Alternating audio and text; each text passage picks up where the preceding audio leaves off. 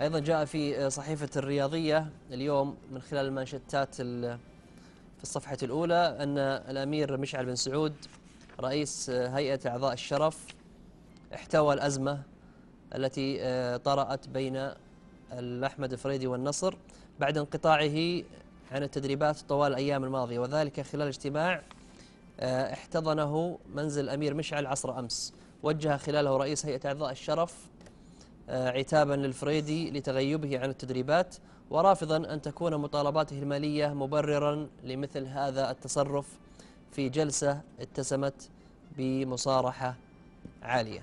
دكتور نايف أسمع تعليقك.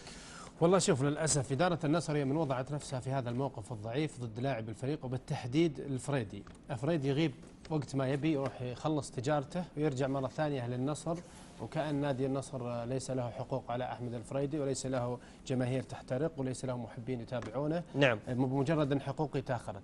أولا أنا كنت ضد ما حدث للفريدي في نهائي كأس الملك الموسم الماضي أمام الأهلي.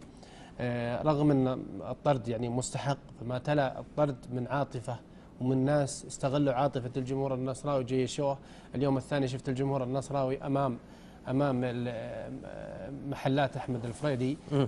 بدلا مما يتم معاقبة أحمد الفريدي على ما عمله في نادي النصر تم مكافأته بطريقة أخرى.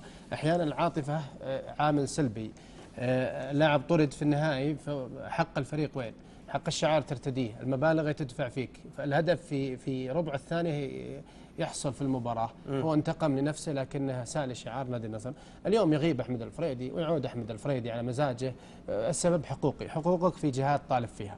لكن أن تصل مرحلة لك تروح وتصور كاستفزاز لجماهير نادي كبير وتخلص أمورك هناك وترجع للتدريبات مرة ثانية ما أنت بحاسب لاحد حساب هنا المشكلة. هنا أنا ما أحملها أحمد الفريدي.